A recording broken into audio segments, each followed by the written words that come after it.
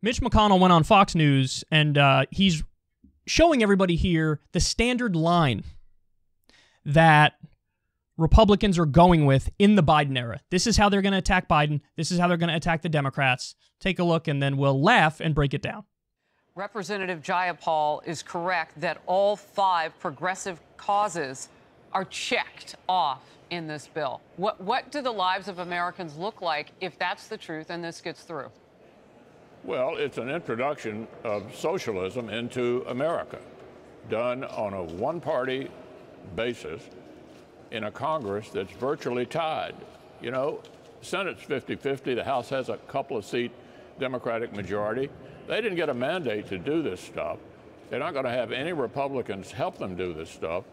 This is a left wing dream of Bernie Sanders fulfilled, uh, they hope, uh, on a very narrow vote with no, you know, no room to spare, jam this down the throats of the American people. What keeps you up at night over what's happening under a Biden administration? You've known this president for many, many, many years in the Senate.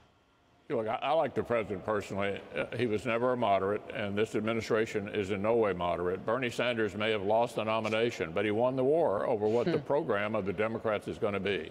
This is socialism for America. It needs to be stopped. No Republicans will support it. Hopefully, there will be one or two brave Democrats who will stop this from happening. That is amazing in so many ways.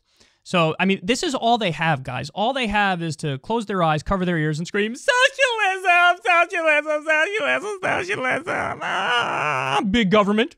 Big government bad. Socialism bad. This is not landing like perhaps it did uh, in generations prior. It's just not landing. Not landing at all. Um, if you look at the polling on this stuff, especially with younger folks, socialism is in the same ballpark as capitalism. It might even be a little more popular among young people than capitalism is. Sure, with like, uh, you know, senior citizens, they still have that same gut effect and, and knee jerk reaction when they hear socialism. Like, it's definitely negative, but it's not the boogeyman that it once was, especially because capitalism very clearly has sort of destroyed people. Look at what happened with COVID. We simply didn't have the system in place and the mechanism in place to protect people and to take care of them and to do the right thing when COVID hit. People sort of learned, oh, the system's a joke. Billionaires are getting trillions of dollars more wealthy during the pandemic, and regular people are getting hosed and obliterated and becoming homeless, and there's loopholes in the eviction moratoriums and things of that nature. So it's not going to work. I love when he says, well, the Democrats don't have a mandate. Biden won the presidency, Democrats control the Senate, and Democrats control the House. And you're saying Democrats don't have a mandate? If that's not a mandate, what is? If if Mitch McConnell was in the same position the Democrats were in, so if you had a Republican president, a Republican Senate, and a Republican House, you know what he would say? Mandate. Clear mandate. We won at every step. By the way, we also had a special election where everybody put it on the line. And the Democrats said, hey, you vote for us, you're going to get a $2,000 stimulus check. The Republicans were like,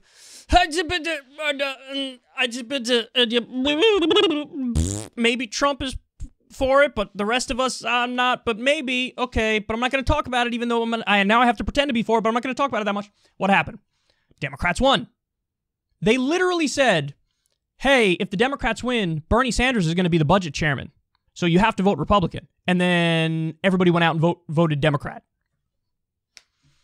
So it is a mandate. That's exactly what it is. And if Republicans had these numbers, it would they would say it's a mandate. It's that's always the way it works. When we win, it's a mandate. When they win, it's a fluke, and they shouldn't do anything. Um, then he calls the agenda a left wing dream. I mean, that's so hilarious, guys. How is this a left wing dream when every other developed country not only has these things, but they go further than us? It's not a left wing dream. It's called basic developed industrial society, basic civilization stuff. But Mitch McConnell's too busy representing corporations 24 7. He thinks that's what his job is to help corporate America. That's what he thinks his job is. Guys, he bragged. Remember that video we showed you where he bragged? He's like, You're going to get more money, but I didn't vote for it. Nobody in my party voted for it. We're against giving you money. It's amazing that he's just handing that argument over to the opposition. and the, and they don't even know how to pounce on it. That's the craziest part too is that he's saying I'm a terrible politician and I will make terrible arguments and the Democrats are like we're not going to pounce on that. What? Um he says Joe Biden was never a moderate. Never a moderate. He voted for the Iraq War, the Patriot Act, NAFTA, the crime bill, the bankruptcy bill. Half of his views are right leaning. Never a moderate. You know what? McConnell's right, but not in the way that he thinks he is. You're right. Never, he's not a moderate. He's right leaning. He's conservative. He's a conservative Democrat in many ways. So, yeah, he's not a moderate, but it's not because he's a left wing radical. It's because he's right wing. Hilarious. And then uh, he makes the case that Bernie won the war on policies here. I wish, buddy, if Bernie won the war on policies, we would be fighting for Medicare for all and a, and a living wage. And he dropped the living wage. Uh, Biden dropped the living wage under you know minimal pushback. He didn't really fight for it in his own caucus, and uh, he's not not only is not doing Medicare for all, he's not even doing the public option. So I wish Bernie won the war on the policies. He didn't, but but um, the things that they are attempting to do now in this reconciliation bill are all positive things. And McConnell just wants to call it socialism and dismiss it. Well, what are we talking about? Universal pre K, childcare, two years free community college. This is all stuff the American people love. They love it. They love it. So I wish, I wish that was the case that Bernie won on the policies. I wish it was all of his policies. But if the Democrats were intelligent, what they would do is push back on McConnell here and be like, correct. Correct. You're accusing us of pushing for policies that Americans support overwhelmingly. That's right. And thank you for admitting that you're against it. And thank you for having no arguments other than, I'm scared this is all he's got. And if the Democrats can't win on this front, they're totally hopeless. By the way, the thing that the more intelligent Republicans are doing is they're talking endlessly about the culture war to try to distract from the economic stuff.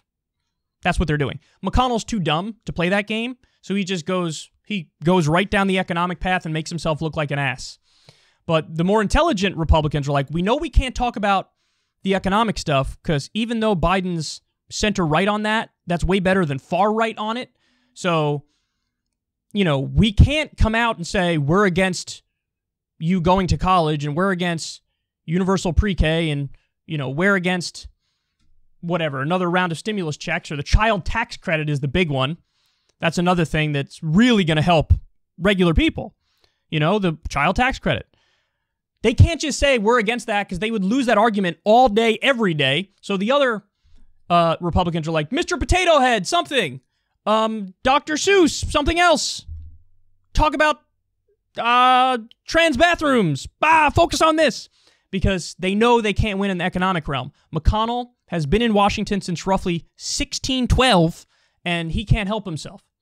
So he's going right down the path, making an ass of himself, and has the nerve to argue that Bernie is controlling Biden. I wish Bernie was controlling Biden. That would be awesome.